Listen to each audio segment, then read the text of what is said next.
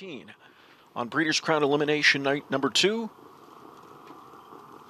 Field is set for a start.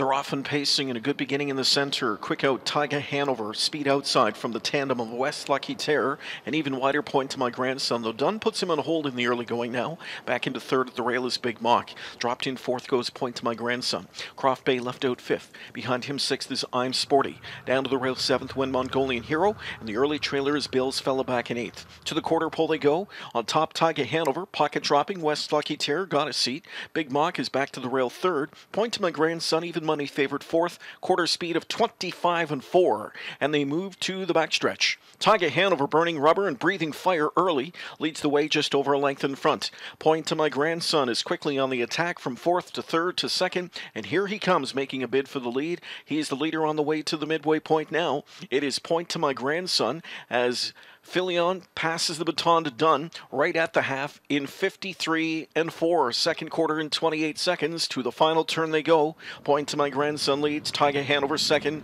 Now outside Croft Bay third. West Lucky Terror buried at the rail fourth now. Outside fifth I'm Sporty. Six strapped in and shuffled his Big Mock into the flow. Mongolian Hero. And still the trailer Bills fella as they go to three quarters.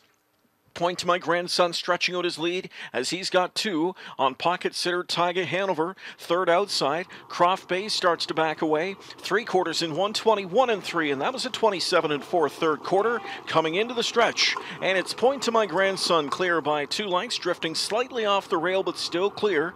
Now three lengths back to Tyga Hanover. Late speed from Mongolian Hero down the center, and from last Bill's Fellas storming onto the scene late. Point to my grandson is clear and deep stretch, and he'll find the line in time. Point to my grandson a half a length better than the late rushing Mongolian hero. Bills fella third, West Lucky Terror fourth, and we start the card in sub 50 fashion.